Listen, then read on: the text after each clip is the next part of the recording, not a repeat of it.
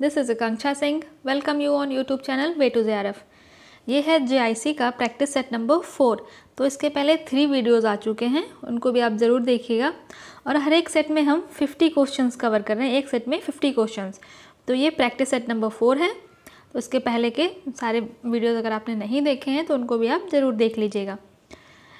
And video start करने से पहले, अगर वीडियो आपको अच्छी लगती है तो लाइक एंड शेयर ज़रूर कर दीजिएगा। और अगर अभी तक आपने चैनल सब्सक्राइब नहीं किया है तो चैनल को भी सब्सक्राइब ज़रूर कर दीजिएगा। सो so, स्टार्ट करते हैं वीडियो। सबसे पहला क्वेश्चन है कि hue intensity and values are three different. यहाँ पे fill in the blank space of colour means जो ये वैल्यू ह्यू और इंटेंसिटी हैं ये कलर के तीन क्या चीज़ हैं? तो कलर की तीन ये जो ह्यू है इंटेंसिटी है वैल्यू ये कलर के बारे में क्या बताते हैं? तो ऑप्शंस क्या हैं? रेंज डायमेंशन कर्व्ड या जिग जैग तो अगर हम बात करें कि ह्यू इंटेंसिटी ये वैल्यू ये कलर के जो थ्री डायमेंशन है तो ये इसका जो आयाम है जो ह्यू हो गया इंटेंसिटी है वैल्यू है, ये कलर के तीन आयाम हैं। नेक्स्ट क्वेश्चन आता है one blood glucose is abnormally high वो what is release from the pancreas जब ब्लड में ग्लूकोज का लेवल एबनॉर्मली हाई होगा मीन्स हाई है तो कंडीशन क्या होगी? डायबिटीज़ मिलाइटस, ठीक है? तब पेंक्रियाज से क्या सिक्रीट होगा? क्या रिलीज़ होगा? जब ब्लड में शुगर लेवल हाई होता है, तब रिलीज़ होता है इंसुलिन। तो इंसुलिन और ग्लूकागॉन, ये दोनों पेंक्रियाज से ही रिलीज़ होते हैं। जब ब्लड में ग्लूकोज का लेवल हाई होता है, तब इंसुलिन रिलीज़ होता है और इंसुलिन जो है वो ब्लड में ग्लूकोज के लेवल को कम करने का काम करता है। और ये ग्लूकागॉन जो है, जब ब्लड में ग्लूकोज का लेवल कम हो जाता है, क्योंकि इंसुलिन रिलीज़ हुआ, ठीक है? ये से ये ग्लूकोज है। इंसुलिन ग्लूकोज का लेवल हाई था, तब इंसुलिन रिलीज़ हुआ और धीरे धीरे ग्लूकोज का लेवल कम ले आया। अब ग्लूकोज का लेवल कम है, तब यहाँ से ग्लूकोगॉन रिलीज़ होगा और ये ग्लूकोज के लेवल को ऊपर ले जाएगा। तो ये दोनों एक दूसरे के अपोजिट काम करते हैं। क्योंकि अगर ब्लड में ग्लूकोज का लेवल कम हो गया तो हाइपोग्लाइसीमिया हो जाएगा तो ये भी स्टेट खराब कंडीशन है और हाइपर ग्लाइसीमिया हो गया तो ये भी कंडीशन खराब है तो ये ग्लूकागॉन इंसुलिन एक दूसरे के साथ कंपैटिबल होकर काम करते हैं। मीन्स जहाँ पे इंसुलिन की रिक्वायरमेंट होती है, तब इंसुलिन सिक्रिएट होता है। अब जब ग्लूकोज लेवल कम हो गया, तब ग्लूकागॉन सिक्रिएट होता है। तो जब ब्लड में ग्लूकोज एबनॉर्मली हाई होता है, तब पैंक्रियाज से इंसुलिन रिलीज़ होता है। नेक्स्ट क्वेश्चन आता है which one of the following is a natural antioxidant इनमें से कौन नेचुरल एंटीऑक्सीडेंट है?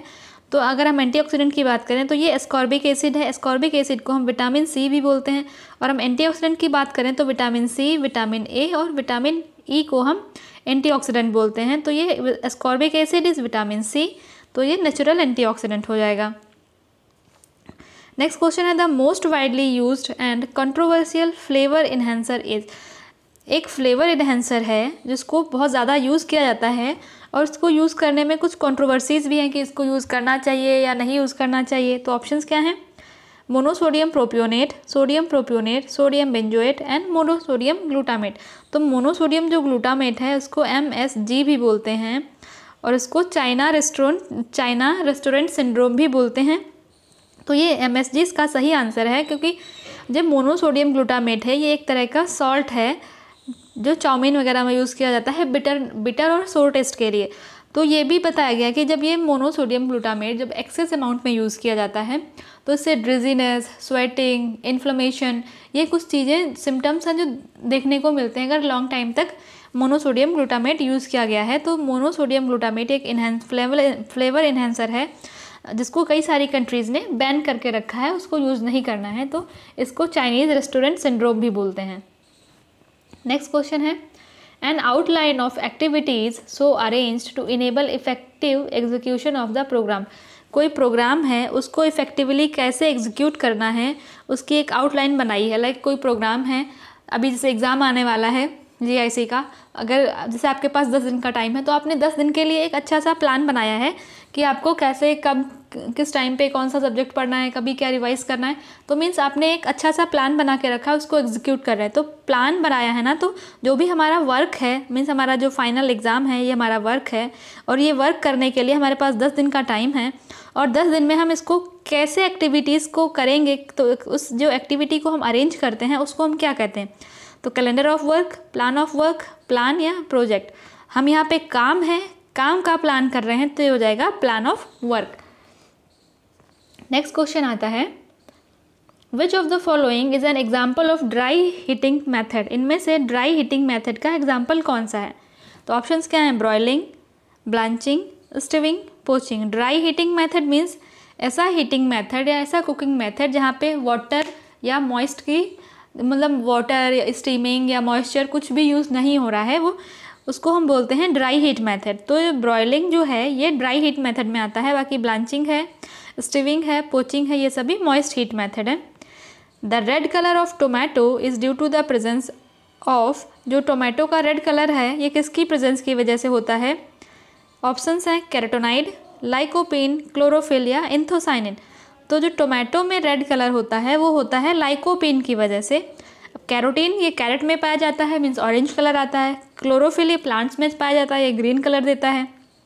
एंथोसाइनिन, इससे dark red, violet, blue colour का कलर आता है तो वहाँ पे होता है एंथोसाइनिन लाइक ब्रिंजल है, बैंगन है, बैंगन में एंथोसाइनिन होता है। तो टोमेटो में अगर रेड कलर की हम बात करें तो ये आता है लाइकोपिन से। नेक्स्ट क्वेश्चन क्या है?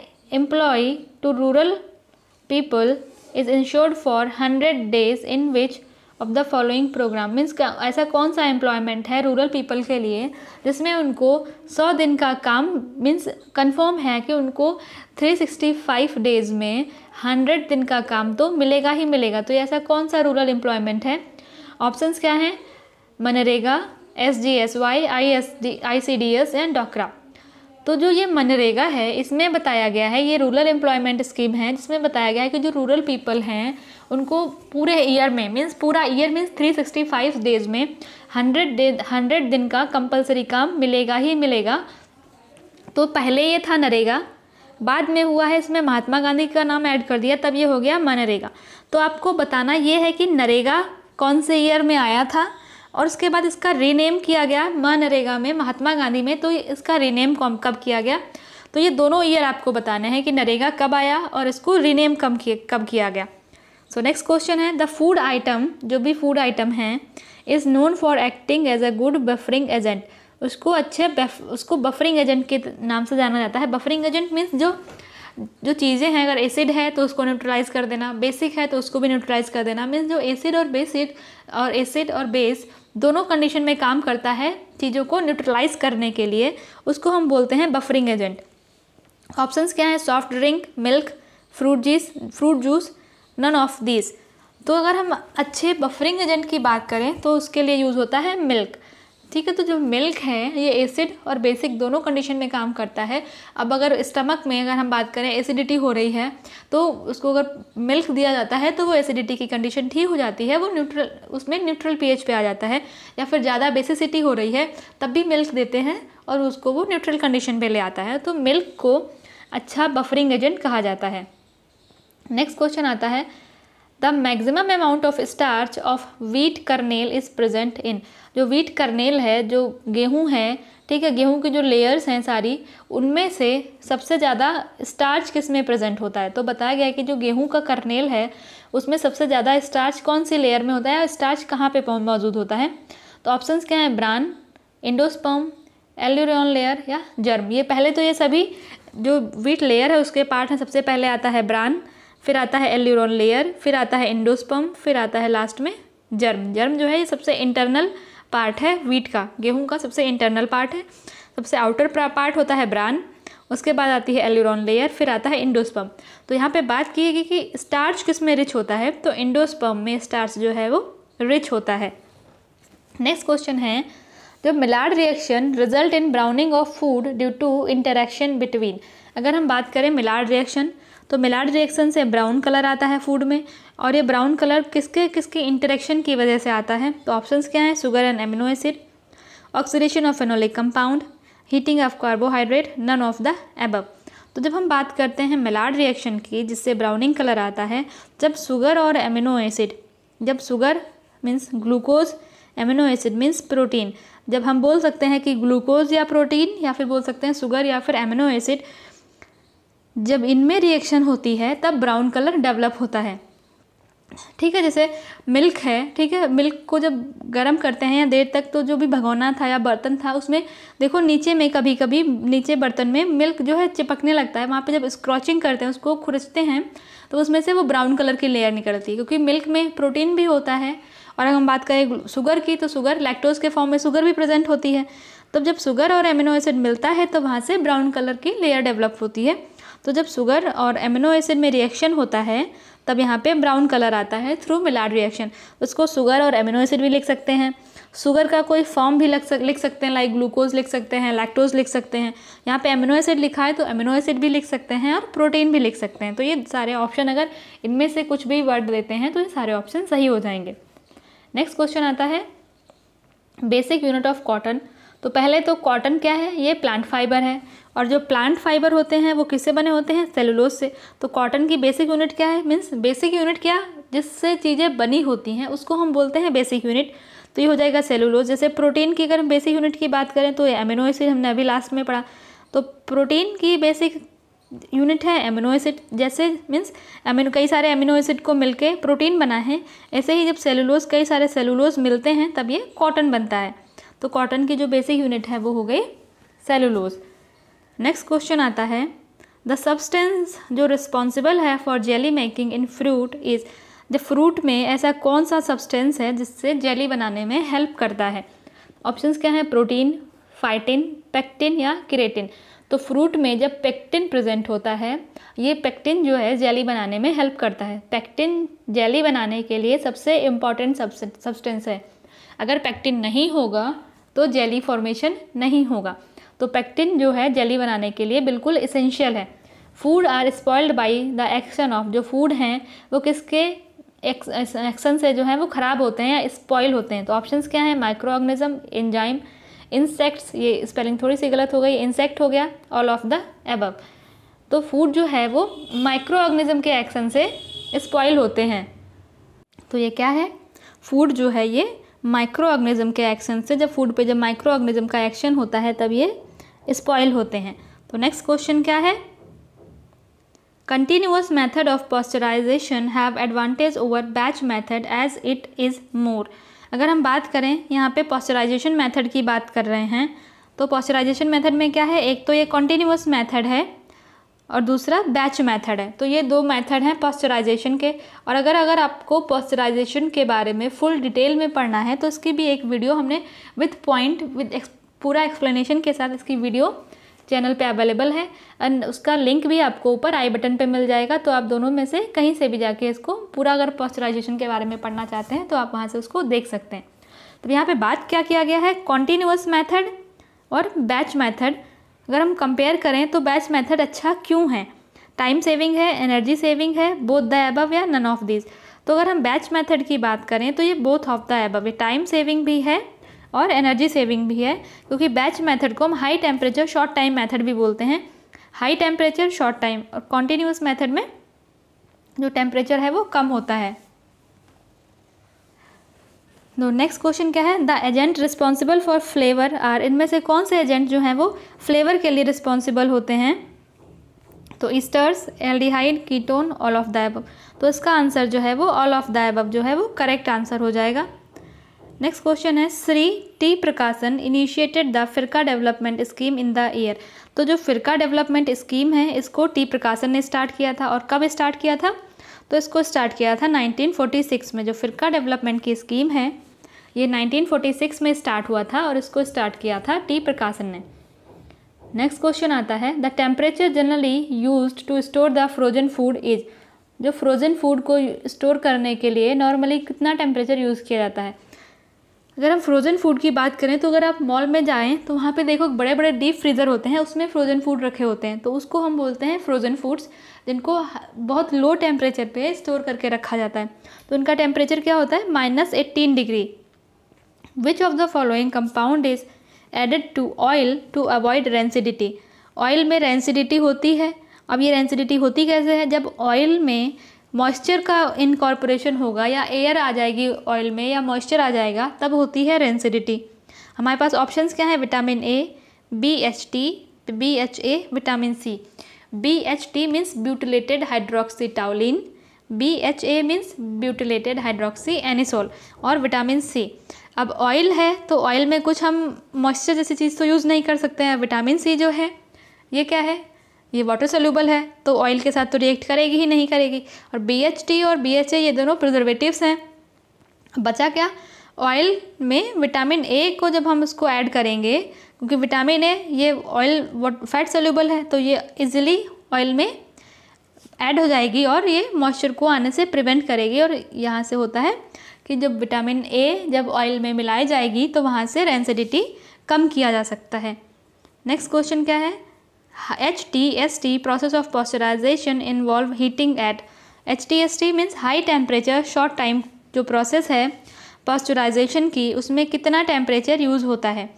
तो जो high temperature short time process है पॉस्चराइजेशन की, उसमें 72 डिग्री सेंटीग्रेड फॉर 15 सेकेंड के लिए ये टेम्परेचर यूज़ किया जाता है। और ये दिया यहाँ पे 150 degree centigrade for one second तो कहीं कहीं पे ये एक सौ उनचास डिग्री सेंटीग्रेड भी लिखा होता है। ये होता है ultra high temperature, U H T S, ठीक है? ये अल्ट्रा हाई टेम्परेचर होता है। एक सौ उनचास या एक सौ पचास, दोनों में से जो दिया हो, आप उस पर करेक्ट जाइएगा।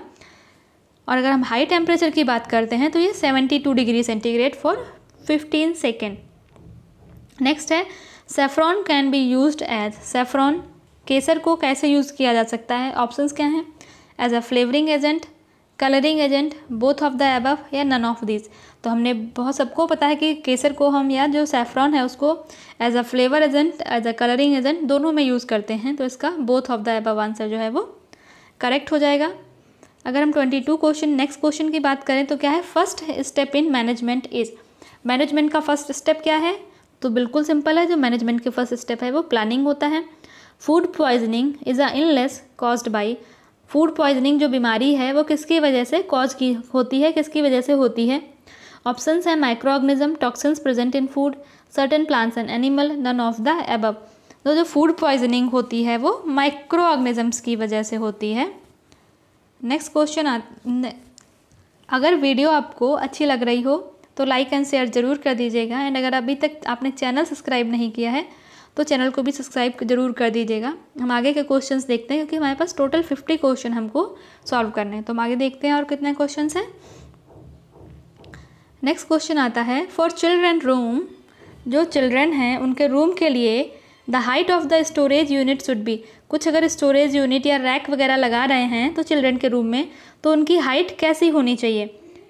फिक्स्ड होनी चाहिए एडजस्टेबल होनी चाहिए लेस होनी चाहिए नन ऑफ़ द अबव तो जो बच्चे हैं, उनकी height time to time increase होती रहती है एक सर्टन टाइम तक, ठीक है? अगर बच्चों का रूम है तो उसमें अगर जो स्टोरेज यूनिट लगा दिया, अगर फिक्स्ड कर दिया तो लाइक जब बच्चा फाइव ईयर का था तो उसकी हाइट के अकॉर्डिंग स्टोरेज यूनिट शिफ्ट कर फिक्स कर दिया बिल्कुल।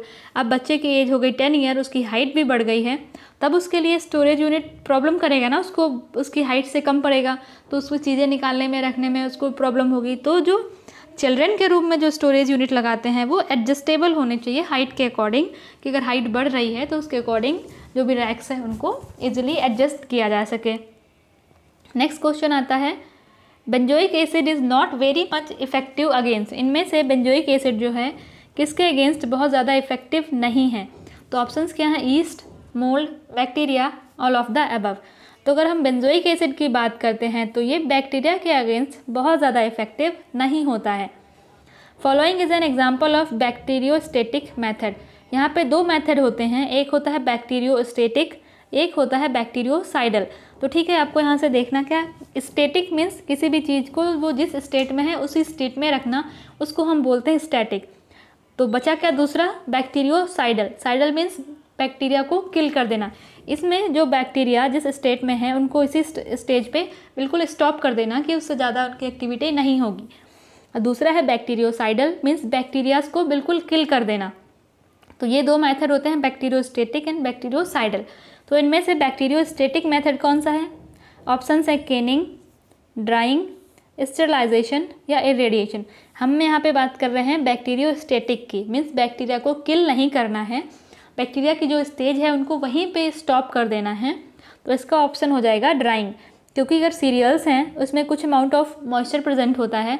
जब उनमें मॉइस्चर का अमाउंट ज़्यादा हो जाता है तो बैक्टीरिया उस पर एक्टिव हो जाते हैं, काम करने लगते हैं। और यही जब जो सीरियल्स हैं, उनको ड्राई कर दिया जाता है मॉइस्चर का लेवल कम हो जाता है तो जो बैक्टीरियाज थी, उनके जहाँ पे जो भी उनकी जितनी भी एक्टिविटी हो रही थी, वो वहीं पे स्टॉप हो जाती है।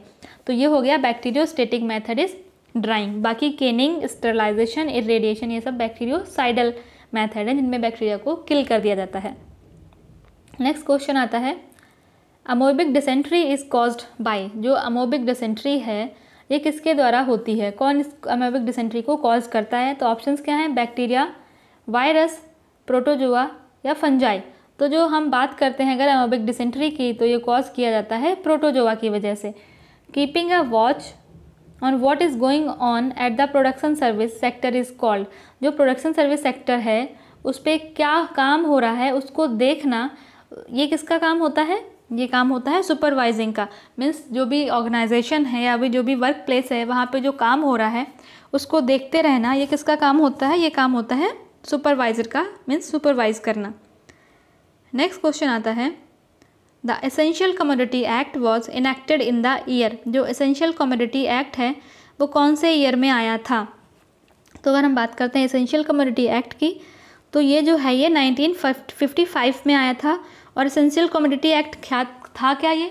एसेंशियल कमोडिटी एक्ट ये था कि जो भी इसेंशियल चीज़ें हैं बेसिक ह्यूमन लाइफ के लिए, जो चीज़ें इसेंशियल हैं, उनकी कालाबाजारी नहीं होनी चाहिए। वो हर एक ह्यूमन बींग तक वो इजीली पहुँच सके। इसके लिए आया था इसेंशियल कॉमोडिटी एक्ट ये आया था 1955 में। उसके बाद red palm oil is a source of देखो, एक तो रेड है, दूसरा ऑयल है। मीन्स ये वाटर सलूबल तो है नहीं। तो ऑप्शंस हमारे पास क्या हैं? Ascorbic acid riboflavin beta carotene या ऑल ऑफ़ एबव तो रेड पाम ऑयल एक तो ये वाटर सोल्यूबल नहीं है। तो जो स्कॉर्बिक एसिड है राइबोफ्लेविन है, ये दोनों तो वाटर सोल्यूबल है। ये तो कोई चांस ही नहीं है कि ऑयल में होगा। उसके बाद बचा क्या? बीटा कैरोटीन, जो कि होता है vitamin A Vita, vitamin A का प्रिकर्सर ठीक है? प्रो विटामिन ए तो ये होता है फैट सोल्यूबल तो रेड पॉम ऑयल किसका सोर्स होता है? बीटा कैरोटीन का सोर्स होता है। नेक्स्ट क्वेश्चन है the ability to understand the feeling of others दूसरे की फीलिंग को समझने की जो एबिलिटी होती है, उसको हम क्या कहते हैं? तो आंसर ऑप्शंस क्या हैं? इम्पैथी सिंपैथी परस्पेक्टिव टेकिंग या फिर ऑल ऑफ़ दीज देखो, जो इसका आंसर होगा वो है इम्पैथी इम्पैथी मीन्स जो दूसरे क्या सोच रहे हैं, उनकी क्या फीलिंग्स हैं, खुद को उनकी जगह पे रख के देखना, तब वो जो फीलिंग आती है, उसको हम बोलते हैं इम्पैथी तो यहाँ पे यही बात की गई कि दूसरे की फीलिंग को समझना हम समझेंगे कैसे? जब हम खुद को सिचुएशन में रख के सोचेंगे, तब हम जाके समझेंगे कि फीलिंग क्या है. सिंपैथी मीन्स किसी को करुणा भावना दिखाना, कि अगर किसी को प्रॉब्लम है तो उसको थोड़ा सा मोटिवेट करना तो ये हो जाता है सिंपैथी तो इसका जो करेक्ट आंसर क्या है? वो है इम्पैथी नेक्स्ट क्वेश्चन आता है. Characteristic of food which can be identified by use of sense means जो फ़ूड के कैरेक्टरिस्टिक हैं, जो फ़ूड की विशेषताएँ हैं, उनको हम अपने सेंसेस के द्वारा, जो हमारे इंद्रियाँ हैं, उनके द्वारा आइडेंटिफाई करते हैं। तो अब इसको हम क्या कहते हैं? अब हम सेंस यूज़ कर रहे हैं फाइव सेंसेस को यूज़ करके हम फ़ूड की क्वालिटी को या फ़ूड की जो विशेषताएँ हैं, उनको आइडेंटिफाई कर रहे हैं। तो हम उसको बोलेंगे सेंसरी क्वालिटीज़ जहाँ पे हम केमिकल के थ्रू केमिस उसका केमिकल कंपोजिशन देखते हैं तो वो होता है केमिकल क्वालिटीज़ फ़िज़िकल क्वालिटीज़ हम जहाँ पे देखते हैं तो वो आता है फ़िज़िकल क्वालिटीज़ तो हम यहाँ पे बात कर रहे हैं सेंसेस की तो ये हो जाएगा सेंसरी क्वालिटी नेक्स्ट क्वेश्चन है this refers to the surface quality of the fabric means यहाँ पे हम बात करें फैब्रिक की या किसी भी चीज़ की, जो ऊपर सरफेस की क्वालिटी है. मीन्स हमने सरफेस को टच किया, वो हमको कैसा फील हो रहा है सॉफ्ट है हार्ड है रफ है. तो ये सब क्या है? ये आते हैं टेक्सचर तो जो भी सरफेस क्वालिटी की हम बात करते हैं तो वहाँ पे आता है टेक्सचर नेक्स्ट क्वेश्चन आता है. Give a scientific term for cracking at the angle of mouth mouth means mouth के एंगल पे. एंगल मीन्स लिप्स के जो कॉर्नर हैं लिप्स पे जो कॉर्नर में एंगल बनते हैं, उनमें क्रैकिंग आ रहा है. तो उसके लिए साइंटिफिक टर्म क्या यूज़ करते हैं? ये मोस्टली सर्दियों में होता है. जब सर्दियों में ड्राइनेस हो जाती है, तब लिप्स के कॉर्नर पे क्रैकिंग आ जाती है तो उसको हम क्या बोलते हैं? ग्लोसाइटिस, एंगुलर स्टमाटाइटिस डर्मेटाइटिस या फिर तेलेग्रा तो जब माउथ के एंगल पे जो क्रैकिंग आ जाती है, उसको हम बोलते हैं एंगुलर स्टमाटाइटिस। ग्लोसाइटिस क्या है? जो टंग है, टंग में जब रेडनेस आ जाती है, टंग पे स्वेलिंग हो जाती है, उसको हम बोलते हैं ग्लोसाइटिस। अब जब माउथ के जब एंगल पे क्रैकिंग होती है, उसको हम बोलते हैं एंगुलर स्टोमेटाइटिस। यहाँ पे आया है डर्मेटाइटिस और पेलेग्रा तो आपको बताना ये है कि जो डर्मेटाइटिस है और पेलेग्रा है, ये कौन से विटामिन की डिफिशेंसी डिजीजेज हैं? तो अभी आपके पास क्वेश्चन क्या हो दो, एक तो डर्मेटाइटिस और पेलेग्रा, ये कौन से विटामिन की डिफिशियंसी डिज़ीज़ हैं? दूसरा, नरेगा कब आया था? कौन से ईयर में आया था? और उसका जो नाम चेंज हुआ है, नरेगा से मनरेगा हुआ है तो ये कब हुआ? तो वो दोनों ईयर आपको बताने हैं, नरेगा आया कब था उसका नाम कब चेंज हुआ? उसके बाद ये डर्मेटाइटिस और पेलेग्रा जो है, ये कौन से विटामिन की डेफिशिएंसी डिज़ीज़ है? तो ये दोनों आंसर आपको कमेंट सेक्शन में देना है। नेक्स्ट क्वेश्चन है मेगेलोब्लास्टिक एनीमिया तो ये मेगेलोब्लास्टिक एनीमिया का है। तो आयरन डेफिशिएंसी एनीमिया है प्रोटीन डेफिशिएंसी एनीमिया है फॉलिक एसिड या फिर एस्कॉर्बिक एसिड तो हम यहाँ पे बात कर रहे हैं मेगेलोब्लास्टिक एनीमिया की, जो कि फॉलिक एसिड की डेफिशिएंसी से होती है। और इसको हम न्यूट्रिशनल डेफिशिएंसी एनीमिया भी बोलते हैं। अब एस्कॉर्बिक एसिड का क्या काम है? एस्कॉर्बिक एसिड जो है, वो आयरन के एब्जॉर्प्शन में हेल्प करता है। और यहाँ पे है मेगालोब्लास्टिक एनीमिया जो कि फॉलिक एसिड की डेफिशिएंसी से होती है। नेक्स्ट क्वेश्चन क्या है? Maximum resiliency is found in resiliency means flexibility हम बोल सकते हैं कि कोई कपड़ा लिया, उसको बिल्कुल डिफॉर्म कर दिया, ख़राब कर दिया, बिल्कुल क्रीज कर दिया, उसका उसको छोड़ दिया।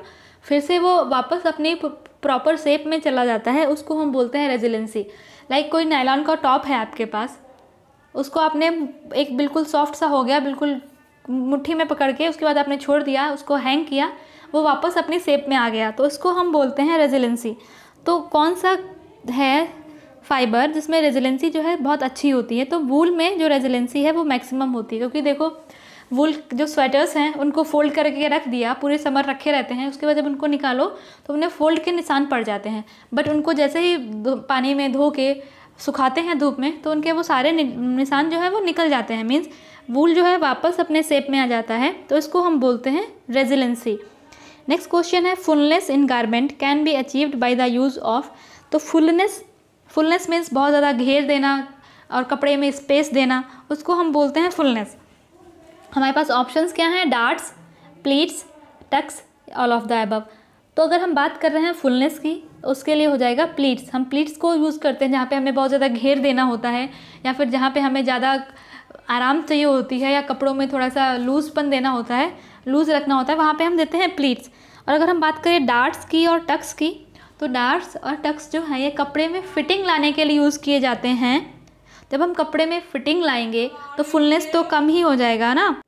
फिर यहाँ से क्लियर हो गया कि जो डार्ट्स और ये टक्स होते हैं, ये फिटिंग के लिए यूज़ करते हैं. और जब हम कपड़े को फिट कर देंगे बिल्कुल तो उसमें फुलनेस तो कहीं से भी बचेगा ही नहीं. तो जो प्लेट्स हैं, ये फुलनेस के लिए यूज़ किए जाते हैं. नेक्स्ट क्वेश्चन आता है main function of vitamin K in the body is जो विटामिन के है, इसका मेन फ़ंक्शन क्या होता है बॉडी में? ऑप्शंस क्या है? As an antioxidant in the blood clotting in vision या फिर इन सिंथेसिस ऑफ़ प्रोटीन तो जो विटामिन के होता है, ये ब्लड को क्लॉट करने में हेल्प करता है। अगर विटामिन के नहीं है तो ब्लड में क्लॉट नहीं होगा। ब्लड जो है क्लॉट नहीं करेगा तो इससे रिलेटेड एक डिज़ीज़ है, उसको हम बोलते हैं हीमोफीलिया जो कि जेनेटिकली ट्रांसमिटेड डिज़ीज़ डिज़ीज़ होती है जेनेटिक डिज़ीज़ होती है। हीमोफीलिया में जो ब्लड है, वो कोगुलेट नहीं करता है। अगर ज़रा सा भी कट लग गया या चोट लग गया, वहाँ से ब्लीडिंग होना स्टार्ट हो गई तो वहाँ पे जो है ब्लड ये कोगुलेट नहीं करता है। और अगर सीवियर ब्लड लॉस हो गया तो वहाँ से डेथ डेथ के चांसेस भी बहुत ज़्यादा होते हैं। तो विटामिन के का जो मेन रोल होता है, वो होता है ब्लड को क्लॉट करने में।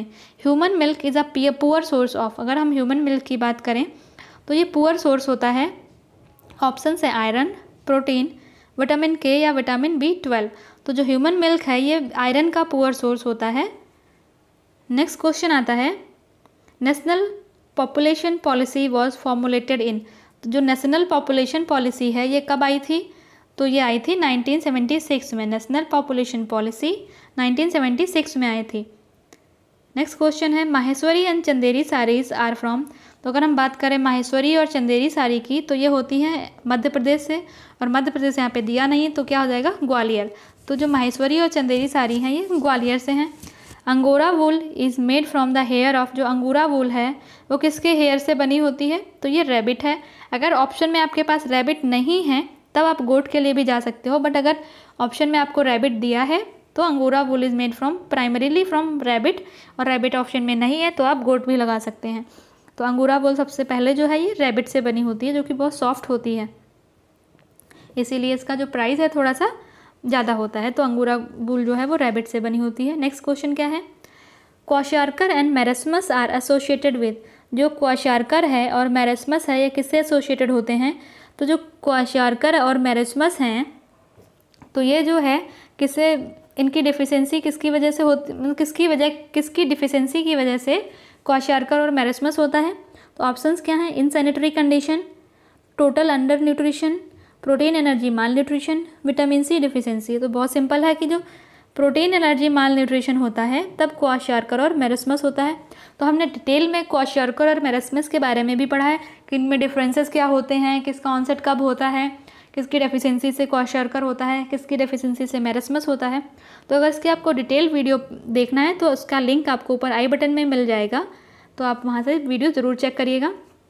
नेक्स्ट क्वेश्चन है the term of I D D means iodine deficiency disorder was introduced by a ये टर्म जो है I D D means iodine deficiency disorder इसको किसने दिया था ये टर्म तो ऑप्शन है Davis Osborne and Mendel Hetzel या मुडलर तो जो I D D iodine deficiency disorder है, इसको हेटजेल ने दिया था ये टर्म नेक्स्ट क्वेश्चन आता है lustre of the fabric can be reduced through जो चमक है फैब्रिक में, जो फैब्रिक में जो लस्चर है फाइबर्स की फाइबर की बात कर रहे हैं यहाँ पे तो जो फाइबर में जो लस्चर है, उसको किससे कम किया जाता है? मीन्स जो फाइबर में जो चमक है, उसको कैसे कम किया जाता है? तो ऑप्शंस क्या हैं?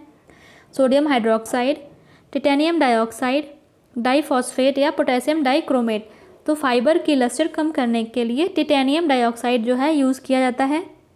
Denier is the term applied to the strength of जो डिनायर ये है टर्म जो कि स्ट्रेंथ के लिए अप्लाई किया जाता है। तो किसकी स्ट्रेंथ के लिए अप्लाई किया जाता है? ऑप्शन है fibre yarn fabric and cotton तो जो डिनायर है, ये यार्न की स्ट्रेंथ के लिए अप्लाई किया जाता है। और यहाँ पे अगर हम फाइननेस की बात करते हैं कि फाइननेस के लिए तो यार्न काउंट फाइननेस के लिए काउंट होता है। और जो हम स्ट्रेंथ की बात करते हैं, उसके लिए यूज़ होता है डिनायर और यार्न की स्ट्रेंथ के लिए हम डिनायर यूज़ करते हैं। नेक्स्ट क्वेश्चन आता है द वाइटामिन जो कि नेसेसरी है for the synthesis of visual purple यहाँ पे बात किसकी हो रही है? विज़न की। विज़न मीन्स आई तो आई से रिलेटेड कौन सी विटामिन है? सिम, एक ही विटामिन है जो कि है विटामिन ए मीन्स अगर जहाँ पे भी आई से रिलेटेड बात हो रही है तो वहाँ से सिंपली आ जाएगा vitamin A fresh fruits and vegetables are included in the diet as जो फ्रेश फ्रूट्स और वेजिटेबल हैं, वो डाइट में क्यों इंक्लूड किए जाते हैं? इनका फ़ंक्शन क्या है? Body building foods energy giving food या फिर प्रोटेक्टिव फ़ूड या फिर ऑल ऑफ़ द एबव तो फ्रूट्स और वेजिटेबल जो हैं, ये रिच होते हैं मिनरल्स और विटामिन में, जो कि काम करते हैं एज अ प्रोटेक्टिव फ़ूड तो प्रोटेक्टिव फ़ूड के लिए fresh leafy vegetables and fruits को जो है डाइट में इंक्लूड किया जाता है। नेक्स्ट क्वेश्चन आता है example of high density fibre is अगर हम बात करें यहाँ पे डेंसिटी की तो इसमें अगर हम बोले रेफरेंस में क्या लेते हैं तो रेफरेंस में ली जाती है वाटर की डेंसिटी जिसको स्पेसिफिक डेंसिटी बोलते हैं, वो डेंसिटी होती है एक। अगर किसी, जिसकी डेंसिटी जो फाइबर की डेंसिटी एक से कम होगी, वो पानी के ऊपर फ्लोट करेगा और जिसकी डेंसिटी एक से ज़्यादा होगी, वो पानी में नीचे बैठ जाएगा। तो यहाँ पे बात की गई है हाई डेंसिटी की मीन्स जिसकी डेंसिटी एक से ज़्यादा होगी और जब एक से ज़्यादा होगी डेंसिटी तो वो पानी में नीचे बैठ जाएगा। तो ऑप्शंस क्या हैं? ग्लास कॉटन एक्रेलिक या फिर नायलॉन तो अगर हम यहाँ पे बात करें हाई डेंसिटी की तो ग्लास जो फाइबर है ग्लास फाइबर की जो डेंसिटी है, वो ज़्यादा होती है। The only fibre which contain sulphur is इनमें से कौन सा फाइबर है जिसमें सल्फ़र होता है? तो ऑप्शंस क्या है? कॉटन जूट सिल्क या फिर वूल तो जो वूल होता है वूल में सल्फ़र होता है। वूल ही एक ऐसा फाइबर है जिसमें सल्फ़र जो है वो प्रेजेंट होता है। तो आपके लिए क्वेश्चन था एक नरेगा। नरेगा कौन से ईयर में आया और उसका नाम चेंज होके नरेगा से मनरेगा कब हुआ? तो ये दोनों ईयर आपको बताने हैं। उसके बाद डर्मेटाइटिस और पेलेग्रा ये कौन से विटामिन की डेफिशिएंसी डिज़ीज़ हैं? तो विटामिन का नाम बताना है आपको। नरेगा का नरेगा का ईयर कब, कौन से ईयर में नरेगा आया और उसका नाम कब चेंज हुआ? तो ये दोनों ईयर बताने हैं आपको। उसके बाद जो पलेग्रा और डर्मेटाइटिस जिस भी विटामिन की डेफिशिएंसी से होते हैं, उस विटामिन का नाम बताना है आपको। तो ये हो गए फिफ्टी क्वेश्चंस जो कि कंप्लीट हो गए। एंड अगर वीडियो आपको अच्छा लगा हो तो लाइक एंड शेयर ज़रूर कर दीजिएगा। एंड अगर अभी तक आपने चैनल सब्सक्राइब नहीं किया है तो चैनल को भी सब्सक्राइब ज़रूर कर लीजिएगा। मिलते हैं नेक्स्ट वीडियो में, तब तक के लिए wish you all the very best good luck bye bye